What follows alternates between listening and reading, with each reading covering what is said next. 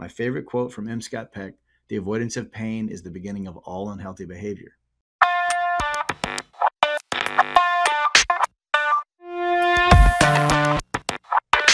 Hi, everyone, and welcome to another uh, edition of the Patrick Doyle Show. I'm Patrick Doyle, and today I'm joined, as usual, by Amber Lyn. Amber is the Community Relations Director for Pathway to Hope, which is an online membership program that we created to help women in difficult circumstances, uh, toxic relationships, emotional abuse, and even in family situations, not necessarily marriages. Um, it's been very helpful for a lot of women, and uh, so you can check that out at patrickdoyle.life. Um, so I've had a lot of requests. Um, I did this video a long time ago. It's called 10 Signs You're a Survivor or 10 Signs You're a Victim. And so, in emotionally destructive relationships, people get very confused about whether they're victimized or whether they're surviving. And that has to do with the fact that usually abusers are always undermining you and having you doubt your own perceptions. So, this list evidently has been very helpful to a lot of people. So, I wanted to go over it again and uh, put it out there one more time. And uh, so, Amber is going to also join in the conversation as we go through the 10 signs that you're a survivor or the 10 signs you're a victim? Absolutely. So, well, you, let's go ahead and go through the 10 signs you are a victim first. Okay. Okay. Before we do that, just let me yeah. say this. Um, okay. Listen, one thing I think that everyone has ever, that who has ever lived or ever will live, one thing all humans have in common is injustice. No one has ever been able to escape injustice. So, how we cope with injustice is more important than whether or not we have it because we're all in that boat. Mm-hmm. And what we do is we often deal with the injustice in ways that are very harmful. So, what you have here in this side, this this uh, list of 10 signs you're a survivor, 10 signs you're a victim is it's really how are we dealing with the injustice that we've had? Are we using uh, resources to get better or are we staying in the spin of whatever it is that happened to us? Mm-hmm. So key component of this is for you to get to freedom. Whether you're a survivor or whether you're uh, you know a victim listen we've all been in the victim status so i don't want anybody to hear me say victim as a negative thing. Look yeah. i've been victimized. I've been abused. I've been harmed. That is real. Because i've been victimized it doesn't make me a victim. But a lot of people have a victim stance and this is really what I'm getting at. And by no means do I mean it in a derogatory sense, I mean it as a descriptor. You see the victimization stance in someone's behavior. And that's important for you to see, both in other people and also in yourself. Mm-hmm. So you can you can't move to survivor if you don't see that you're staying in a victim stance. It's it's re- required for you to see. So these 10 steps are intended to help you gain clarity I don't want anybody hearing this video and judging themselves or others or shaming yourself or others for the behaviors. It's just simply a way to find clarity, not yeah. not to be harmed, not to be harmful. Yeah, that's great. It, distinction there. Okay, so number one, 10 signs you were a victim. Uh, you complain rather than act. Yes. So um, you you you've probably experienced this with people where um, they talk a lot about the same stuff. They have the same problems that never go anywhere. They never get any better and it's just a long unending conversation about this and that and the other. And they don't ever when you if you were to suggest a solution they would find a barrier. Mm. you ever had that conversation with somebody where you're like oh. well have you ever tried this? Well yeah i tried that. It doesn't work well, have you tried this? Well, yeah, no, I can't do that because da, da, da, da. Yeah. So the problem can't be resolved. So they complain rather than act. Totally. That makes sense. All right. Number two. And I've never done it, by the way. You've never done it? yeah, right. It's a joke. I spent many years of my life in that situation. Yeah. I like what you said in the beginning. Like we all go through this process. So, um, 10 signs you were a victim. Number two is talk about the same problems over and over again. Mm-hmm. Very similar about complaining. But what you find is there, so complaining is a little different in that they're sort of uh, whining about it. They're, yeah. um, you know, talking about how bad their situation is. Um, mm-hmm. The other is is that it's always a part of their conversation. Have you ever talked to anybody like, no matter, it's like, hey, how was the baseball game? And you end up talking about the thing that they're bothered by. Mm-hmm, mm-hmm. They always seem to slip it in. So, what it reveals is a preoccupation in their mind about this thing. And because it doesn't move, then, you know, it's it becomes a, a topic of conversation at a high percentage of the time. Now, not obviously not every time, but gotcha. it's it's also it's what I'm trying to get at is the person's mind is on this a lot and it mm. becomes their identity mm. in terms of how they communicate, what the kind of things they say. It always it acts like a filter through which they hear or see most things. Gotcha. Mm-hmm. Whatever whatever that trauma is or whatever that thing is that's unresolved in them or the thing that they don't feel like they can get past or the harm that's been done to them it, it doesn't move it just keeps they keep talking about it gotcha all right uh, 10 signs you're a victim. Number three you're never able to get to resolution. Right. And that is simply most often about the lack of the the lack of willingness to take action. Mm. so i'd rather talk about it than do deal with it. Talk or complain like you're talk saying. or complain yeah. It's mm-hmm. something I'm, I'm always always on my mind. But when it comes to taking action i'd rather talk about it and avoid the action than to do something. Um, and as we get into this to the 10 signs you're a survivor you'll see the contrast. But yeah. just know that the person is without resolution not because there aren't things that can be resolved. Like let's say you have uh, uh, an abusive relationship and the person keeps talking about it well rather than talking about it they could take action but they keep they keep talking about it and avoiding the action and they're talking about it is the way they avoid the action. Yeah. Yeah. Okay. Uh, 10 signs you are a victim. Number four you're always looking to people to save you. Yes. So this is the process where we we externalize the solution. So it, it, it doesn't matter what I do. It, I can't I can't help the situation. I got to find somebody who's an expert. I got to find somebody who's got power. I got to find somebody who can help me with this and pull me out of it.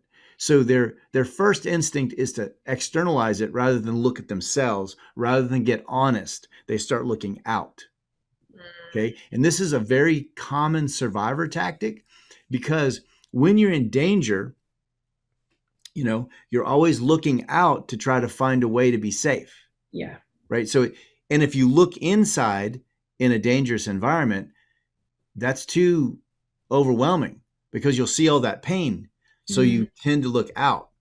And so when you start to come out of this, the alternative is instead of looking to other people to save me i start to see my own my own reality and that's that's what i begin to work on instead of it always being external. And in the church i noticed as a pastor for many years there were there were many people that they were in the pastor's office all the time. Same problems nothing changes you know yeah. uh, and and it, it happens in counseling it happens in hospitals it happens everywhere where people are just in the hospital we used to call them resource eaters. They just took up space and kept coming and but there was never any resolution. Mm. interesting. So in a situation like that it seems like they're seeking something but it's not actually to solve their problems. Yeah. well what, what they what they want is the attention generally which gives them a moment of validation about the uh-huh. issue. Okay. Right? And then so we put a band-aid on it and they feel better for a minute and then they go back but then not, nothing's resolved so mm-hmm. when you've been harmed and every survivor i mean every victim's been harmed mm-hmm. so when you've been harmed you don't trust yourself you don't believe yourself you don't like yourself generally you might even think that you're no good but you're not saying that to anybody but these behaviors are a revelation of that yeah so they're getting external validation rather than internal, knowing that they are not just the way that they are, and they can take right. steps which towards. Is, right. saving themselves rather right. than which is why they can never them. be sa- this is why they can never be satiated or satisfied because they're getting it from something that they have to keep getting. Totally. I've been there done that. Yeah me too. How do, how do you think i know about this stuff? All right 10 signs you are a victim. Uh, number five you don't accept responsibility. There's always someone or something to blame. Mm-hmm. so this is the avoidance of the pain. This is really what it's about it's about mm-hmm. avoiding the pain. It's not about being weak or bad or unhealthy. I mean, those things are those things can be true, but generally the reason why we we do this is because we don't want to face the pain. So we're always making excuses as to why we can't engage in something or the other that would move us in a direction of health. Gotcha. So we use it as a way to avoid that process. Okay. 10 times you are a victim. Number six, you take more than you give. Mm-hmm. So this is a theme. You heard it in, you know, one and two. So on, and I would say not necessarily, uh, I would say primarily in an emotional way. Mm. There's a lot of need. Mm-hmm. So in a relationship, they tend to pull on someone. They tend to be the one that is, uh, you know, taking emotionally. Uh, the other, the flip side of this, you know, to stay in a victim stance is to be always the giver. That's the flip side of it. So you have, yeah, one side is take, take, take, and the other side is give, give, give. So there's never a balance. So both are avoidances. Gotcha. All right, 10 signs you are a victim. Number seven, you are uncomfortable with being emotionally well. Yes. so this goes back to what I was saying. When you've been harmed, and the message from that harm is that you're inadequate, you're not good enough, you're broken, you're defective, you're not worth the skin you're printed in. Mm-hmm. If you believe that, you know, then then you, if you start to make some changes and your life starts to go well, mm-hmm. it feels like you're breaking some sort of cosmic rule and you're doing something wrong to yeah. be okay. Mm-hmm. And so it's a process that we all go through to like be okay, like be in a place where we're okay with being well. When yeah. you've been blamed and told you the the wrong, you're a bad person, you're inadequate, all that, then when you do feel well, you feel like it's really uncomfortable. And I've said many times that yeah. being genuinely loved is the most difficult thing you could do because of the level of vulnerability that it creates. Mm-hmm. and as somebody who's a survivor of hardship, trauma, abuse, being vulnerable is the last thing I want to do. Yeah. But being well requires vulnerability. Mm-hmm. Mm-hmm. Yeah, I mean, I can think of a situation just recently where I've noticed for myself that sometimes because I've been abandoned by both parents, that, mm. you know, the message in my head or my mind tells me is that you're going to be abandoned. So as soon as I have a good connection with somebody, my mind almost tries sabotaging rather than being exactly. happy and like enjoying that connection in that moment, you know, like a sunset sort of, you know, with somebody. My mind is already trained to think of the worst case scenario, what's going to happen. Oh, they're just going to leave or, you know, whatever, ABC. Yeah. So I've had to like really focus on rewiring or retraining my mind into not um, creating problems that aren't really existing instead of just enjoying the moments and yes. actually being so happy question mark? Like yeah. it's a foreign concept kind of That yeah. is a great that's a great example of exactly what i'm talking about because the training from the abuse is so deep we're unconscious about it. Yeah. And it takes becoming conscious and uncomfortable to change. Yeah. Right? And so when you're uh, in that space and you're feeling good and you're feeling cared about, and then your mind tells you you're going to be abandoned. Or what my mind used to tell me is that not so much I was going to be abandoned, but once they get to know you, they're not going to like you. Yeah. They're going to reject you because you're this and you're, my mind would tell me all those things. And, you know, that was my dad, who was a, mm-hmm. you know, PTSD, two war alcoholic.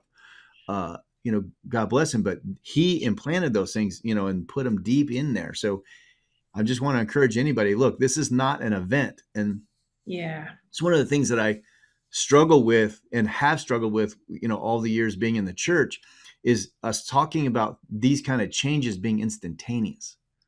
That is not possible. Mm-hmm. And you mm-hmm. know, and I'm telling you this as somebody who at one point in my life was a Pentecostal and you know, looked at the miraculous as something that happened every day.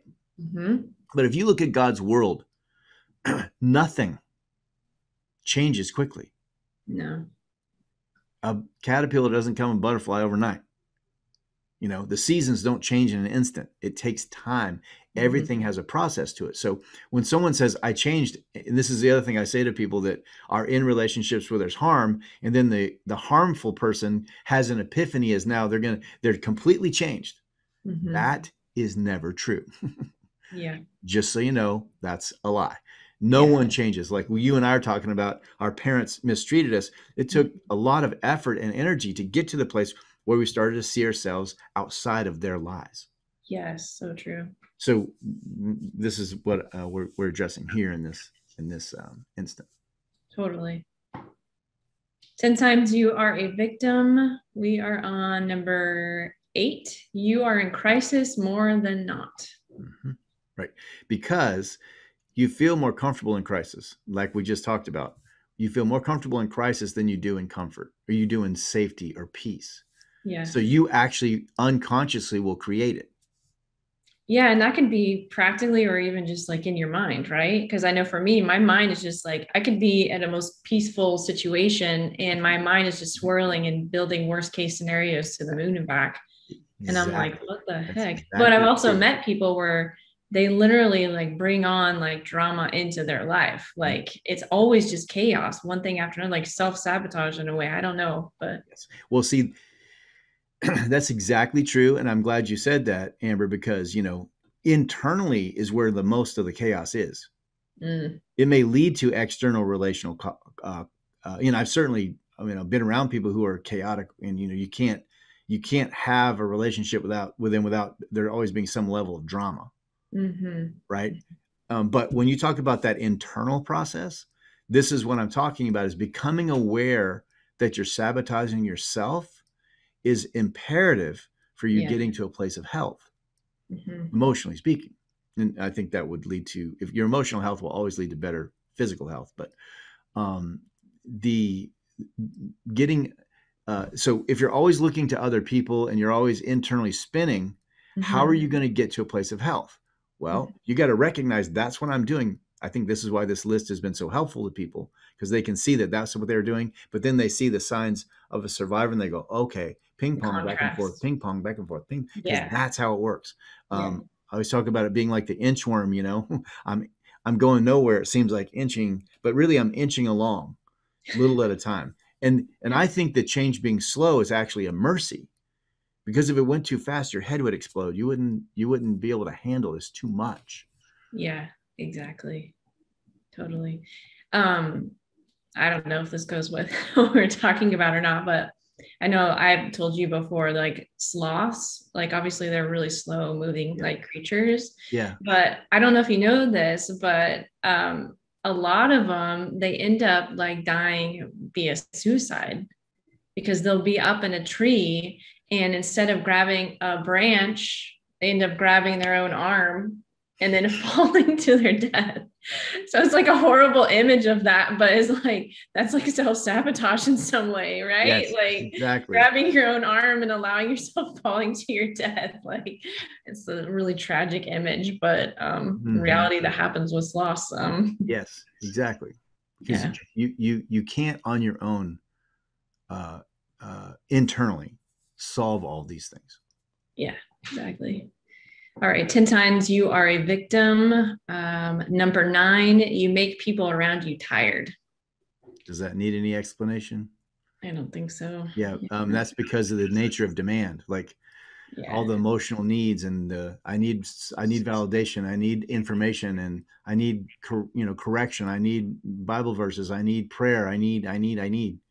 Um, and you know those things are true, but there there has to be some sort of process that's moving you away from staying in that loop. Yeah. And I think in the church we're really bad at uh, enabling people instead of confronting them. Mm-hmm. And I mm-hmm. don't mean confronting them like you're a bad. I mean like in love, like Yeah. You see what's happening here, and this is harming you, and this is harming those around you. And yeah. Instead, so, we're just smiling and going, okay. Yeah. In a situation where someone is a victim and they're kind of in that spinny state, mm-hmm. do they even have the awareness that they're making people tired? No. Not so generally. then when you talk Not about generally. the confrontation, wouldn't it be caring for someone to be like, you're making me really tired right yeah. now? Yeah. How else are they supposed to know, right? I've had that conversation with many people. Okay. Uh, you know, you're wearing me out. You, in, particularly when I was in the church uh, as a pastor, you know, I, you can't do this anymore. Like we've mm-hmm. had 15 conversations and we're still talking about the same thing, and everything we've tried hasn't worked. Mm. So you know there's a deeper problem here the gen- generally though when that confrontation happens they go somewhere else that's been my experience then you're not tired anymore right and this is this is why i say to people like it's very unloving of you to continue to take it it's unloving to them and it's unloving to you mm-hmm. so this inbred codependency in the church where we have to help everybody is really unhealthy well because you don't want to hurt people's feelings which is imperative for health you have to hurt people's feelings. Yeah. And I don't mean that like on purpose and being mean. I'm saying, right. My grandmother used to say, the truth only hurts when it needs to. I like that because when you speak the truth in love, look, s- some people are going to go, oh, okay. And it's going to start a process. Others are going to yeah. deny it, rationalize it, minimize it, justify it, spiritualize it, and move on. Yeah. Not everyone is going to listen to the truth. I spent all these years in counseling and I worked in treatment centers, I've talked to thousands of people who have severe denial. Mm-hmm. And their denial was so severe, it took them to their grave. That happens. So the idea that God's going to save everybody or God's going to open everybody eye, everybody's eyes, or we can we can make it be different. No, no, you can't. You have to be in touch with what is actually happening rather than rationalizing, spiritualizing, justifying, minimizing, all that stuff. which we all do. Yes, right. We so, just want to decrease the percentages of how much we do it. Gotcha. When we're talking about victim and survivors, uh, is there a spectrum? Oh, totally. Yeah. I think there's a spectrum in everything. okay. So like someone can be somewhat victim, somewhat in a survivor. Yeah. Mode. And and well, so that's just it. You can be like, you know, 90% on the victim side and you might have one place in your life where you're actually doing a little bit of, of work and and changing being more mm-hmm. survivor like but if somebody's 90% uh, survivor i mean victim mm-hmm. they're not going to have a happy life it's it's it, it takes you know 50 49.9% out of uh, uh, victim and into survivor for that to to really start to manifest in your life in a way that's transformative. Gotcha. All right, last sign 10 signs you are a victim. Number 10, you tend to harm others in your attempt to get help. Yeah. So hmm. this is what you your question was just a second ago, Amber. Like, do they know that they're wearing people out? No. And this is the harm they do, is that mm-hmm. they're not they're in a healthy relationship, you have mutuality, exchange, one person talks about something, the other person talks about something, and there's actually a, a growth that happens. There's a there's a maturity that takes place in those conversations. When you're talking about somebody who's in that survive um, uh, victim stance, what they're doing is just spinning on it, and so in their attempt to get help, they're actually doing harm not to themselves but to other people because of the nature of their pull. And this is something I would tell people. It's a, a free counseling tip um, one of my mentors years ago said he's really it was Dr. Larry Crabb.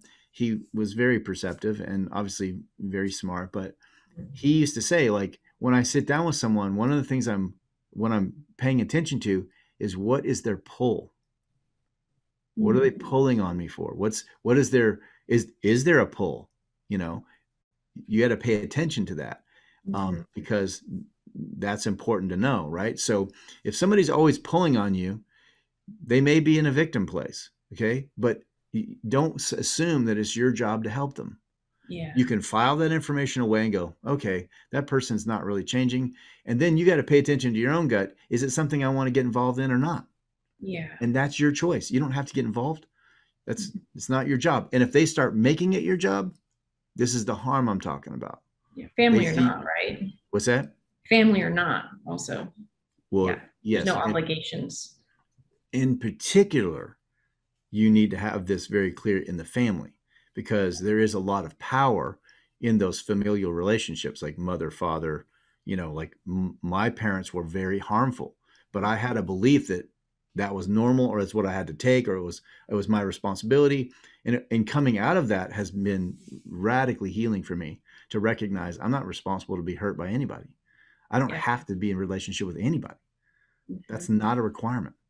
In the church we put a lot of pressure on people yeah. to stay in relationships Yes. I noticed in Pathway to Hope, a lot of the women in there, not only are they getting out of unhealthy like relationships with their partners mm-hmm. in marriages, but also it starts a process of doing that with family members also. Yeah, exactly. And yeah. so um, you know, back to my two rules. No crazy loud, and I get to decide what's crazy. And that's something that in an abusive um, relationship, you don't have the choice to do yeah. your only job is to com- is to comply. Yeah exactly. Okay so i'm just going to kind of recap over these again. Okay. Uh, the first part which was 10 signs you were a victim. One you complain rather than act. Two talk about the same problems over and over again. Mm-hmm. number three you're ne- never able to get to resolution. Number four you're always looking to people to save you Number five, you don't accept responsibility. There's always someone or something to blame. Number six, you take more than you can give. Seven, you are uncomfortable with being emotionally well. Mm-hmm. Number eight, you are in crisis more than not. Nine, you make people around you tired. Mm-hmm. Number 10, you tend to harm others in your attempt to get help. Mm-hmm. So, on to the next part, which is 10 signs you are a survivor. First one we have is number one, you are behaviorally active in moving toward hope. Okay. So, behaviorally active, what does that look like? So, let's put it in context of, let's say, an addict, right? They've lost control of their lives to addiction, and then they recognize that it's hurting them and the people around them, not somebody twists their arm into treatment. Mm-hmm. They recognize it, and then they take action behaviorally. They stop drinking or using drugs. They go to AA or NA. They start to, you know, uh, make amends to the people around them that they've harmed. So they start taking very specific behavioral action to move them towards a more healthy life. Mm-hmm. Um, and so you take it like like the take it in like in a marriage situation, someone has consistently harmed you, right? If they recognize that they're harming you, again, they're not told that they're harming you and then they do something because that's generally a false change because they had to be told. If someone mm-hmm. loves you and they're harming you, you shouldn't have to tell them they're harming you. If you do tell them you're harming you and they just keep going, well, there's a sign, right? Yeah. So behavioral change is you take action behaviorally, whether that means, you know, changing your diet, uh, changing your friend group, uh, changing your job, mm-hmm. whatever. You, there's a behavioral evidence that you're moving in a direction that's healthy. That makes sense. Ten as opposed, as opposed to the just complaining. Oh. Mm-hmm. There's there's action. I'm taking a risk. I'm moving. Mm-hmm. 10 signs you are a survivor. Number two, you are willing to sacrifice what's necessary for change. Mm-hmm. So, change does not happen because it falls down on you and you don't have to do anything. Mm-hmm. Change is going to require a sacrifice of something. Uh, and, it's, and more importantly, it's going to require risk. It's my belief that nothing changes without risk. Mm-hmm. And when you've been in a harmful environment, one of the things you don't want to do is take risks. So when we start taking risks, this is really a profound part of our healing because it helps us change the message in our minds about what's really happening. Because mm-hmm. before the risk, my mind's on fire about all the terrible things that are going to happen. Yeah. Then I take the risk and actually it works out for my benefit. Oh, now I have some evidence that things are not the way I've been trained. Mm-hmm. So, this is why it's so important that we take those risks and we do those things because otherwise we stay in the excuse making and the avoidance. Mm. Okay. 10 signs you are a survivor. Number three, you are willing to be uncomfortable for an extended period of time. Mm-hmm. No quick fixes. Everybody wants a quick fix. I want a pill. Just give me the pill and I'll be okay.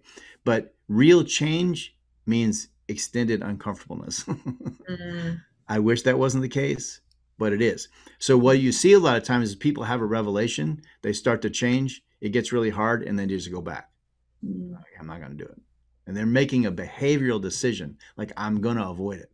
And then other people, you know, I always use the example of the guy who got his arm stuck in the rock and then sawed it off and walked to the hospital. Yeah.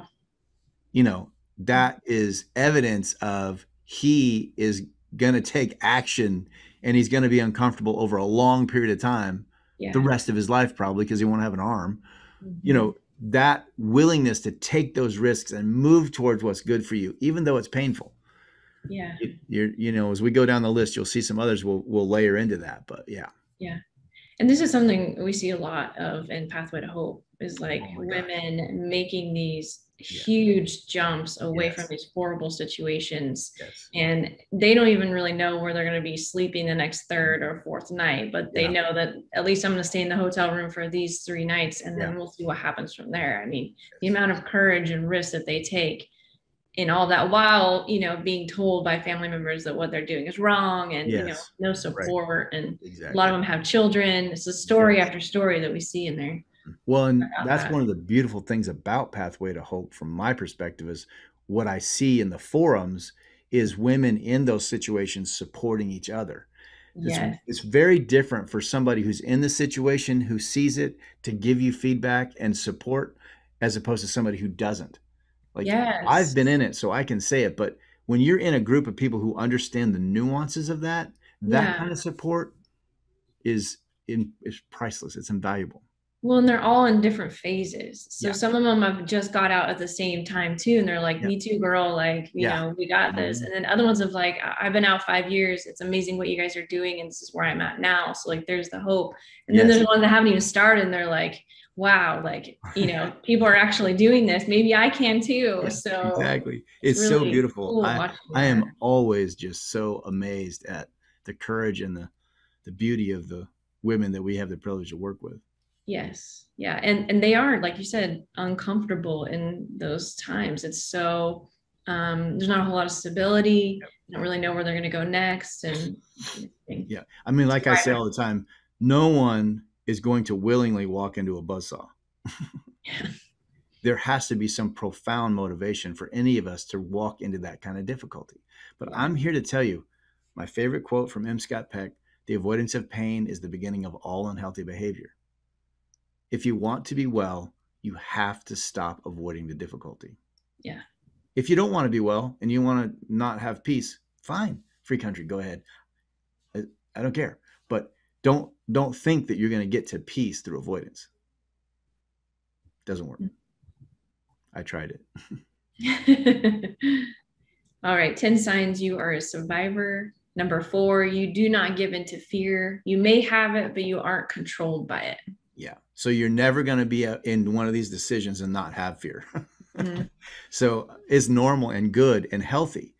The difference is I don't let the fear control me. Yeah.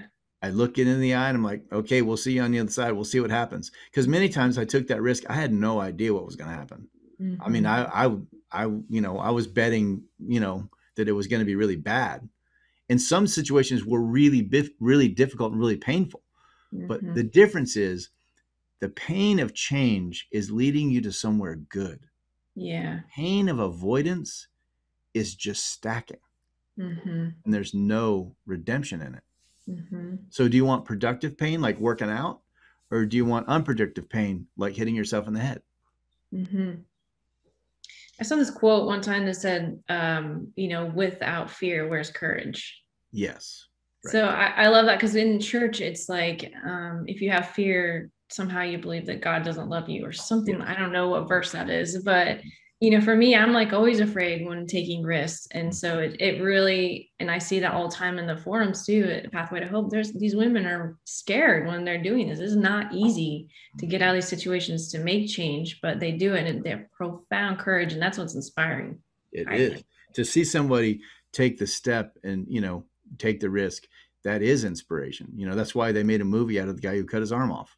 That's yeah. inspirational. That kind of action, that kind of courage, courage. in spite of the fear Mm-hmm, exactly. It's very, it's very um, inspiring, and no one faces difficulty without fear.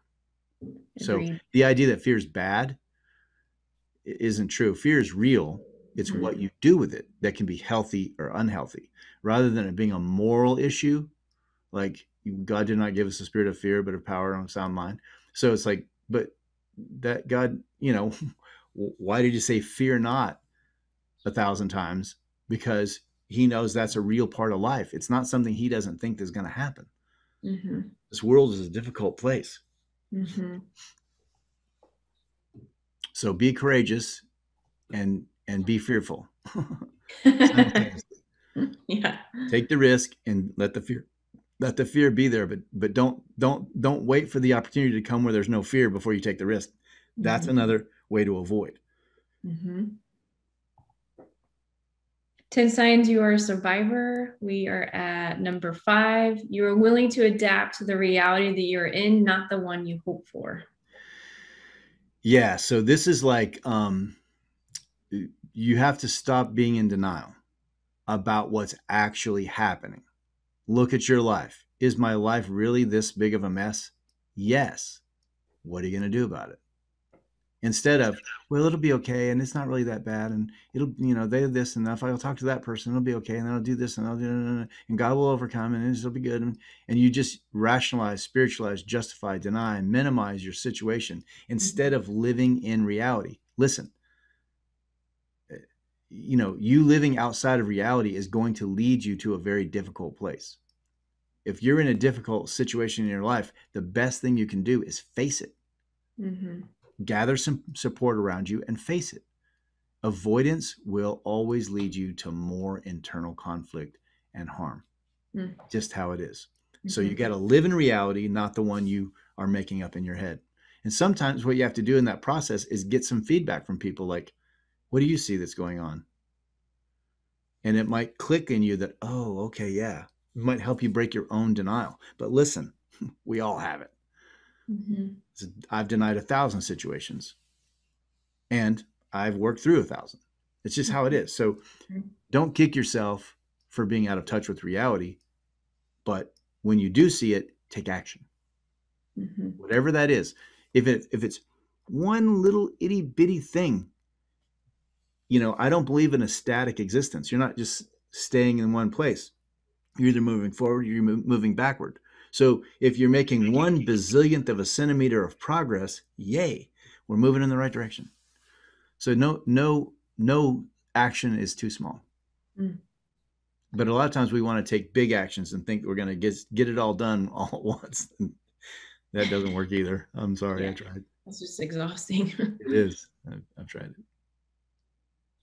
10 signs you are a survivor. Uh, number six, you learn from the circumstances that you're in rather than deny them. So there's there's there's the um, furthering of this of the principle of living in reality. Yeah. So, you know, now now that I see reality, what am I going to do? What is that? What is that? What does that statement in, in, uh, uh, imply? Mm-hmm. Mm-hmm. Right you got to start moving, whatever that is. And again, this is one of the problems with lists like this is because everything has a very specific context.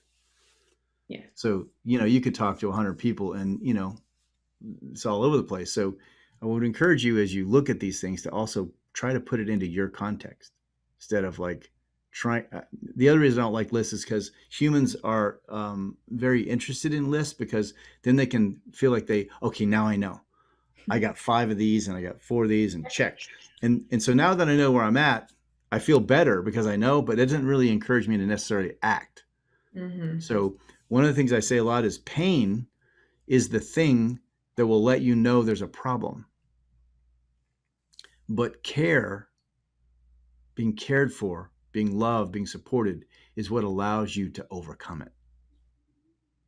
And this is what I see, particularly like you're talking about, like with Pathway to Hope. And in other areas, I saw it in AA, I saw it in recovery programs where that care really helped that person take the very hard steps of being in their reality and being like, oh no, mm-hmm. okay, mm-hmm. I got to deal with this. And then starting the process of, of taking very real painful steps to healing.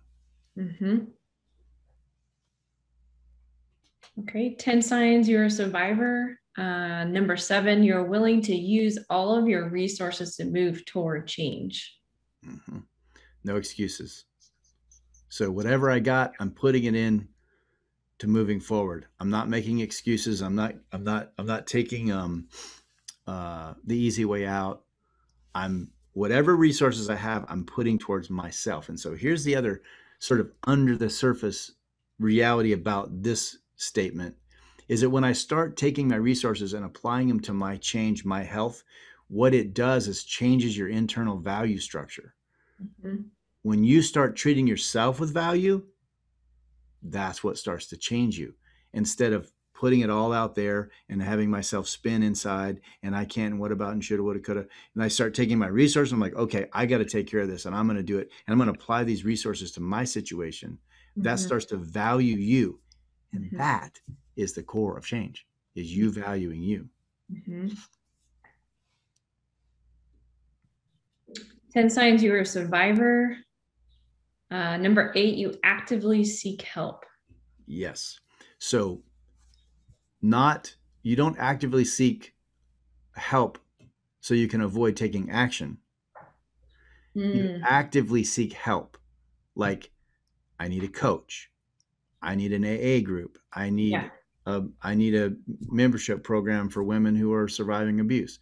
I need a gym. I need a, a nutritionist. I need a book. I need yeah. And then i'm taking actual steps to do that so that I'm I'm I'm uh, applying those resources and I'm getting the help I need instead of well you know you know I, I could try but I don't know and what about and avoiding all of the actual things that are out there that could help you and so mm-hmm. the other thing is is you might go towards one thing and you get in the middle of it and you're like well this really isn't helping well then you switch like well let's try this so there, there's not a well it didn't work so now I'm giving up I just I just switched. Now my resources went there. It didn't work. Now I'm where where where am I going to go now? Mm-hmm. That's the difference between that and uh,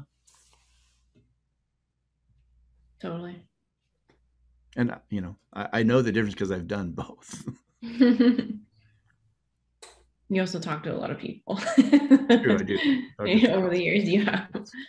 10 signs you are a survivor. Uh, number nine, you resist panic and fear. Mm-hmm. So, again, panic and fear are going to present themselves. And that's not a sign of your inadequacy. That's a sign of your courage. That's a sign of you doing something. That's a sign of you moving forward. So, just like with fear, it's going to be present. Panic, you know, I felt the anxiety attacks before. Like when I'm, for me, you know, I grew up in an abusive home. And so there were very specific rules that were spoken and or implied that mm-hmm. you had to follow. And if you broke those rules, you're going to get it. You know, you're going to get a physical beating. You're going to get a, a, verbal, you know, lashing and a physical beating. Mm-hmm. Um, so when I started to like break those rules, mm-hmm. the panic was real. yes. But I, I had to go through the panic and see that what that was said to me wasn't really true if my dad was here, it probably would be true, but it wasn't true in my life in general. Mm-hmm. You know, not everybody was crazy. so I'm just saying that what I see a lot of times people do is the panic comes and they feel like that because they're having a struggle or because it's hard, they think it's the wrong road. Yeah. They think it's the wrong kind of help. Um, but to to move through that and then on the other side you're stronger and and you're actually more empathetic because now you know oh okay i didn't die mm-hmm. okay and then you start to build on that so that's really important that you, you feel the panic and fear but you just move into it anyway yeah and again let's say you have 10 chances to uh, do something and this panic and fear comes and mm-hmm. you take one of the 10 yay mm-hmm. Again it's about progress. So don't dislocate your hip to kick yourself in the rear over missing nine. Celebrate one. Mm-hmm. yeah that's good. All right 10 signs you are a survivor. Number 10 you take hope in seeing even the smallest of changes. Yep. So this is so important. This is just what i just said at the end of nine. Celebrate. Mm. You know, I had one 30 minute period of time where I felt happy. yeah. You know, let's have a Coke, you know, let's let's celebrate. Um uh yeah, because that celebration is going to embolden and empower your yeah. ability to continue. Mm-hmm. If you never celebrate, it's just too much drudgery. Mm. Too much mm. drudgery. So when you do have even the smallest of successes, when you, you know, somebody you know you have to confront them and you know you're totally somebody who doesn't want to confront anybody and you say well i don't think so. You didn't really confront them but you also didn't roll over. Yeah. Mm-hmm. that's to celebrate that. So the other thing about that is it starts to make you conscious of what you're doing. Yeah. Mm-hmm. and that's really important. I also highly recommend always that people document this stuff because in your brain flies away. But in two weeks what i wrote two weeks ago is still still there. I can i can get to it. I can and i can start to see the context. So in these yeah. kind of difficult change processes i think documentation and with modern technology you know videos vlogs voice memos there's a thousand ways to do it. And you know most people have a device near them that they can use. So you can yeah. do it in real time. I really encourage doing it in real time because you know then you can hear uh, one of the reasons i love voice memo is because i can hear the inflection in my voice and when i listen back to it later i'm like wow i was really wound up about that or man i was really sad about that or whoa okay i start yeah. to hear things and it's even more when i do a vlog like because i'm seeing myself um, yeah. so there's lots of ways to do it but i highly encourage the documentation mm-hmm. well I, I like what you said in that um, the celebrations remind you of what you're doing now. Mm-hmm. And then I would say the opposite of that is rather than thinking about what you have to do or still have to do. Exactly. You know, like right. the, the, log, you mm-hmm. know. Right. Which steals your hope and courage. It does. celebration inspires it. Yeah. Mm-hmm. Yeah, because then you're just kind of on this treadmill of like trying to get everything done, and then you're just right. exhausted, and you didn't even really get to enjoy the process at all. Yeah, yeah, yeah. All right. So just to recap 10 things you are a survivor. Two, I'm sorry, 10 signs you are a survivor. One, you are behaviorally active and moving toward hope. Mm-hmm. I would say change. Um, I would probably change hope. I would change hope to change. Yeah. okay. Uh, number two, you are willing to sacrifice what's necessary for change. You're willing, number three, you're willing to be uncomfortable for an extended period of time. Number four, you do not give into fear. You may have it, but you aren't controlled by it. Mm-hmm. Number five, you are willing to adapt to the reality that you are not, you are in not the one you hope for. What? Did I Number five, you are willing to adapt to the reality that you are in. Oh, not the one you hope for. Yeah, yeah, we got it. Number six, you learn from the circumstances that you are in rather than deny them. Number seven, you are willing to use all of your resources to move toward change. Number eight, you actively seek help. Number nine, you resist panic and fear. And number 10, you take hope in seeing even the smallest of changes. Mm-hmm. Awesome. So, thanks everyone for tuning in to the Patrick Doyle Show. Um, I hope you enjoyed it. Hope it's helpful. Hope it helps you move towards some freedom. And if you would, hit the subscribe button. You know, hit the alert button. Uh, share these videos with people that you know that might help. And uh, if you're a woman in a destructive, or you might think you might be in an emotionally abusive, destructive, toxic relationship, check out my uh, website, patrickdoyle.life. There's a lot of great, great information there. I did a whole new video series, and um, there's a great support in the community. So um, appreciate you tuning in. We'll see you next time. Thanks, Amber. Bye.